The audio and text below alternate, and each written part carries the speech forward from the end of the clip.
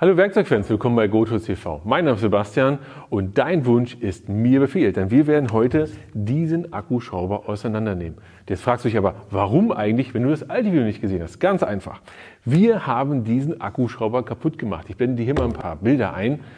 Das war schon eine ganz schöne Sauerei. Du hast die kleine Lokomotive. Oh.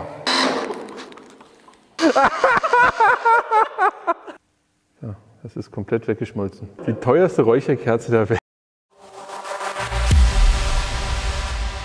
Ja, du hast gerade gesehen, wie er knastert, wie er brennt und wie er dann verschmorgelt ist.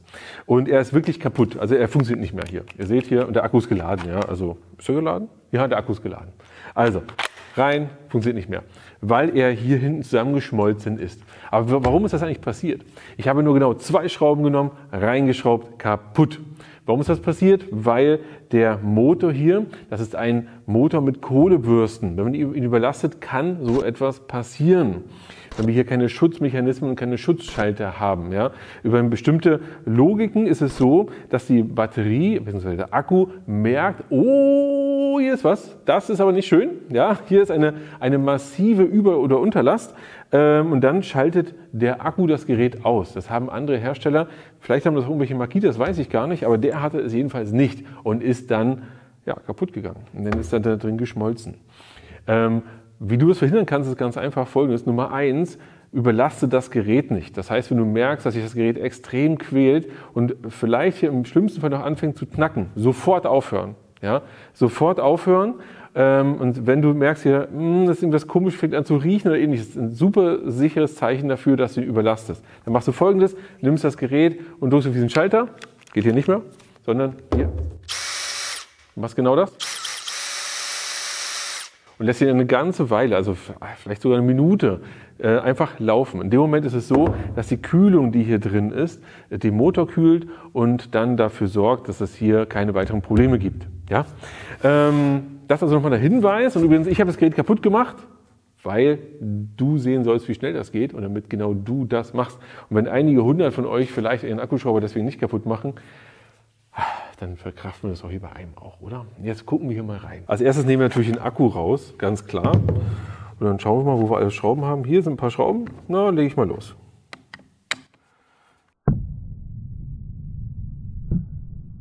Okay, jetzt lege ich los. So, und die letzte Schraube. Mal schauen, wie leicht wir es auseinander bekommen. Okay. Ah, da sind noch Schrauben. Da sind natürlich noch Schrauben. Ich ganz vergessen. So, wir sehen hier übrigens da, seht ihr da, da ist es verschmort, da ist es auch verschmort.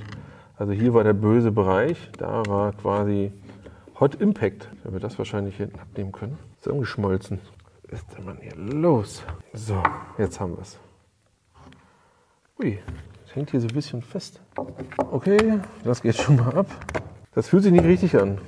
Ah, da. Ja, Leute, hier, da, da, da. Da ist eine Schraube. Und ja, mach das nicht mit dem Akkuschrauber. Ich gebe mir jetzt hier auch keine große Mühe, weil er eh kaputt ist. Ja? Ähm, aber jetzt geht es auch richtig auseinander. Für all diejenigen, die meckern wollen. So, also, jetzt haben wir hier unsere Teile. Ich, aber wir sehen jetzt hier da hinten, dass wir da Spaß hatten. Wartet mal, wir nehmen das hier mal auseinander. Das riecht auf jeden Fall schon mal gut. Seht ihr das da hinten? Da ist komplett verschmögelt, verschmurgelt da. Das sieht nicht mehr schön aus. Und ich versuche das jetzt mal einfach abzuziehen. Ah, normalerweise. So. Und jetzt seht ihr das Ganze. So sieht es hier aus. So. Und hier ist natürlich auch spannend. Ich nehme das hier mal ab. So. Hier, das ist ja einfach nur das Getriebe, ja.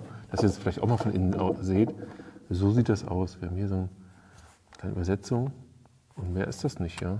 Das, das hier Getriebe, um das ja alles einzustellen.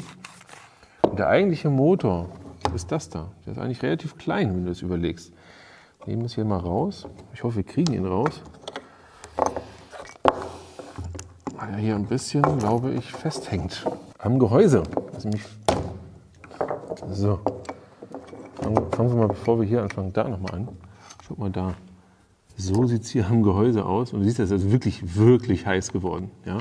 Und das hier, ich meine, das ist kein Gummi oder so. Das ist äh, das Hartplaste hier an der Stelle, was wirklich hin ist. Also komplett hin. Hier auch überall weggeschmugelt. So, und jetzt hier sehen wir genau dasselbe. Da. Alles verglüht, verglüht, verglüht, verglüht. Hm, jetzt mal schauen, dass, ob wir hier reingucken können. So. Ich glaube, tiefer kommen wir nicht ran. Mal gucken, ob wir das hinkriegen. So, und hier seht ihr das, das Ergebnis, ja. Und ich denke, das äh, Problem ist ganz einfach folgendes. Ihr seht jetzt hier ja ähm, die, die Drähte. Wenn das zu heiß wird, hier zwischen kann man das auch sehen. Ich hoffe, man kann das sehen. Ähm, hier, hier ist der, die, die Isolierung ist weg. Ja? Also so muss es normalerweise aussehen, so wie an der Stelle hier. Da ist die Isolierung noch drauf. Da, ja, da ist keine Isolierung mehr. Und das war erstmal der weiße Rauch, den wir auch gesehen haben. Ja, wir haben diese ganze Isolierung hier quasi weggebrannt, weil es so stark eine Überlast äh, war. Und als das dann angefangen hat, hier so stark also weg zu sein, dann ist das hier komplett durchgebrannt und dadurch dann wirklich heiß geworden. Und dann hat sich das hier natürlich dann so ergeben. Und dann sieht es jetzt so aus. Ja. Und äh, klar, damit kann man jetzt nicht mehr viel anfangen. Wenn man jetzt will, kann man wahrscheinlich das Teil hier austauschen. Könnte man vielleicht, schaut mal hier, das ist, ja richtig, das ist richtig eingesunken hier, das Teil. Ja, das ist richtig komplett weg. Ja, also wenn man will, müsste man das austauschen, müsste man das hier austauschen, müsste man hier auch austauschen. Da haben wir keinen Spaß mehr mit. Überlegt mal, ähm, wie kaputt man so einen Akkuschrauber machen kann. Und wirklich, das ist jetzt nicht mehr so, dass man sagt, naja, da ist vielleicht so ein Kabel durchgebrannt oder vielleicht so eine Kleinigkeit, sondern wir sehen wirklich, was das angerichtet hat und was nur dieses bisschen, nur diese zwei Schrauben angerichtet haben mit diesem Akkuschrauber. Schon erstaunlich, oder? Ähm, und dann sieht man, was diese Technik halt, ähm, also wie, wie ausgeklügelt das heutzutage ist, mit diesen bürstenlosen Motoren, beziehungsweise mit Schutzschaltung und so weiter. Und was passiert, wenn das eben nicht äh, greift oder, nicht funktioniert? Schon echt erstaunlich. Ähm, ihr wollt es sehen, so sieht das Ganze aus. Äh, ich bin immer noch erstaunt, wirklich, wie kaputt das ist. Ich hätte, ich hätte es mir auch nicht vorstellen können, dass es so stark defekt ist, dass das so hier, hier ist sogar, hier ist sogar Lot runtergetropft. Ja, Seht man da? Das ist äh, schon erstaunlich. Das ist irgendwo hier runtergetropft, hier aus irgendwas raus. Wo genau kann ich gar nicht sagen. Wir haben uns das Ganze jetzt gerade mal hier so als Puzzle hingelegt. Ähm, das sieht immer erstaunlich aus. Ich muss sagen, es macht, macht schon Spaß, sowas mal auseinanderzunehmen und sich das Ganze mal von innen auch anzuschauen. Auf jeden Fall, übrigens denkt nicht, dass ich den Akku hier angeschlossen habe. Ja, das war nur zum, zum, zum Anschauen. Ähm, es ist wirklich kaputt. Es ist wirklich am Hintern. Äh, und ihr habt gesehen, wie stark das Gerät kaputt gegangen ist. Ich kann euch nur sagen, äh, dass dieses Video wirklich euch dienen soll als mahnendes Beispiel. Aus meiner Sicht übrigens als mahnendes Beispiel, wenn ihr ein neues Gerät kauft, kauft nach Möglichkeit ein Brushless-Gerät. Ja? Ob nun 12 Volt, 18 Volt, 54 Volt oder wie viel Volt auch immer kauft ein Brushless-Gerät. Da habt ihr so ein Problem erst einmal nicht und da könnt ihr es erstmal nicht so leicht fehlbedienen auf jeden Fall und dadurch geht es ganz natürlich nicht kaputt. Und ich muss sagen, ich habe das früher schon einige Mal bei meinem privaten Akkuschrauber gehabt, das mal so, hat mal so geknackt und so, da war mal irgendwas, ich habe mir aber nie was bei gedacht. Und jetzt muss ich sagen, habe ich schon gedacht, ja, ja, ihr habt ganz schön oft Glück gehabt. Äh, falls es dir auch so geht, schreibt es mal unten in die Kommentare. Schreibt mal gerne in die Kommentare, ob wir noch mehr davon ausprobieren sollen, ob wir vielleicht auch mal alle anderen Hersteller ausprobieren sollen, die nicht Brushless-Geräte haben.